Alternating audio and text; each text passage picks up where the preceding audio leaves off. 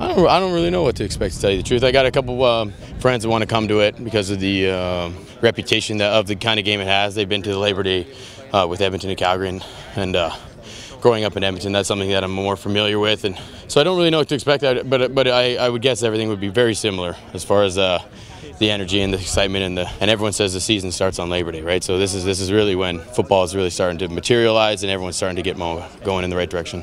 It's tough with the, the kind of roster we have right now. There's a lot of new guys. There's going to be a lot of first time guys experiencing this. So I mean, uh, I can only really draw on the experience, uh, like some lateral experience I have with the Edmonton and Calgary rivalry, and go from there. And uh, at the end of the day, I mean, it's just a football game too. So just going to play football. The fans are the fans. I, I mean, uh, maybe they seem more aggressive here because of how close the bench is. I remember Ivor Wynne being the stadium for heckling fans, and it wasn't because their fans were any more passionate or uh, aggressive. It was because they were six inches away from you, right? So I think the proximity of the bench plays a big role on how effective the fans are can be in uh, talking trash, if you will, to to the opposing team.